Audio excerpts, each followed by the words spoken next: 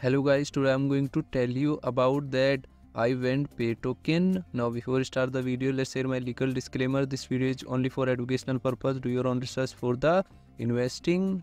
According to the website iVent pay is an innovative fintech project that offers universal solution for accepting cryptocurrencies through pos terminals e-commerce plugins apis apps and vending machines it is designed to seamlessly integrate digital currency payments into everyday transactions, enhancing the accessibility and unity of cryptocurrencies in the retail and e-commerce sectors with a focus on ease of use security and widespread acceptance.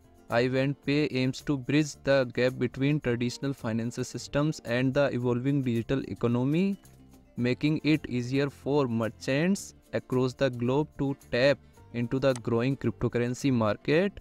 iVent Pay token total supply is 1 billion and circulating supply is also 1 billion. ivendPay token ivendPay token is listed on popular exchanges like Gate.io, BitGet, MEXC and other exchanges.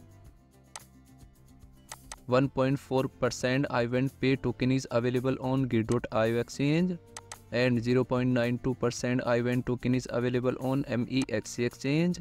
If I share my opinion with you, then this project 75% chances is that it is a or good project. So guys, don't take my opinion as a financial advice. Do your own research for the investing. Thanks for watching.